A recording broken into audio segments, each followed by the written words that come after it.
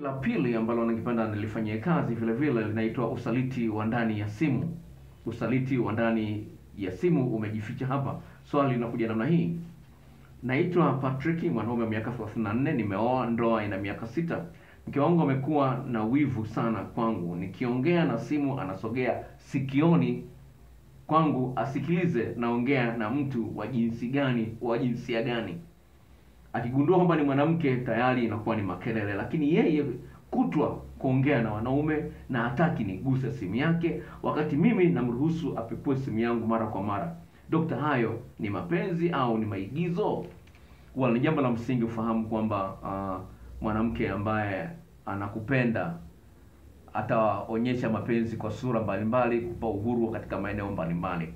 Mwanamke asiyekupenda ataleta ujeuri wa aina fulani. Sasa ukiona mwanamke ana wivu lakini yeye anafanya mambo machafu, ni kwamba anatafuta sababu ya kuachana na wewe, anatafuta sababu ya kuachana na wewe. Na unapoona mpenzi wako anakataa usishike simu yako simu yake, maana yake ndani ya simu yake kuna madudu, ana michepuko, kuna siri za uzinzi ambazo zimo mle ndani. Kwa hiyo uzinzi huo umefichwa humo. Kwa ni jambo la msingi uone kwamba uone kwamba kama kweli nataka uhusiano huu uendelee, lazima nifahamu kinachoendelea kwenye simu ni nini, na kama hataki basi aidha umruhusu aendelee na uzinzi au acha kushika simu yake. Kwa msingi, kwa maneno mengine ni kwamba kuwa mkali, kuwa mkali, kupenda ujue, upate nafasi ya kujua kinachoendelea kwenye simu ni nini. Kinyume na hapo, utaendelea kujidanganya kwamba mwenzangu ni mwaminifu, kumbe si mwaminifu. Napata mwambie wazi kabisa, ni kweli upo uwezekano mkubwa wa kugombana kutokana na vitu ambavyo vimekutwa ndani ya simu, upo uwezekano mkubwa, lakini cha msingi pale ambapo unajihami, unajua kwamba lazima niulinde ndoa yangu, utaacha kuwa na mazoea na mwana, na mtu wa jinsia tofauti na ya kwako. Utaacha utani na mtu wa jinsia tofauti na ya kwako, kwa sababu ule utani unaweza ukatafsiriwa vibaya na mwenzio. Kwa hiyo utani huo una- unaamua kuepuka. Acha kutoa namba, zako ovyo ovyo kwa wanaume au kwa wanawake. Hilo jambo la msingi sana.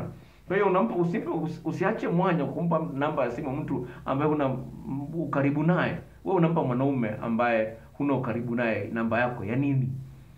Jambo la msingi ufahamu kwamba kama unathamini uhusiano wako lazima ulinde, na kama unaulinda basi lazima uweke mipaka. Sasa usipoweka mipaka ndio hali kama hiyo.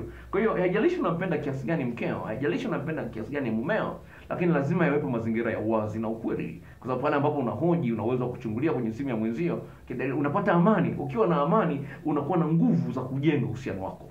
Unapokuwa na amani ndani ya moyo wako na mpenzi wako, unakuwa na ujasiri wa kufanya mambo mazuri kwa mpenzi wako. Lakini usipokuwa na amani, hisia zako za mapenzi kwa huyu mtu zinaganda.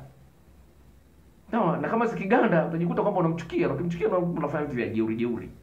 Kwa huyu mwanamke kwenye kesi hii ambayo e- e- e- inaonekana kwamba anafanya vitu vya makusudi kabisa vya jeuri. Sawa, anataka agundue kwamba kama mume wake anamsaliti na yeye amwache. Kwa hiyo anatafuta kisingizio. Sasa hataki kushika simu yake. Kwa hiyo yeye mwanamke hisia zake kwa huyu mwanaume zimeganda. Na kama zimeganda, ajui jinsi gani ya kuachana naye. Kwa hiyo njia nzuri kwamba mwanzoni mwa mahusiano lazima mjenge mazingira ya uwazi na ukweli, ili kila mmoja awe na uchangamfu na mwenzie. Unapoona mwenzio amepoteza mwenzio amepoteza uchangamfu kwako, maana hisia zake kwako zimeganda.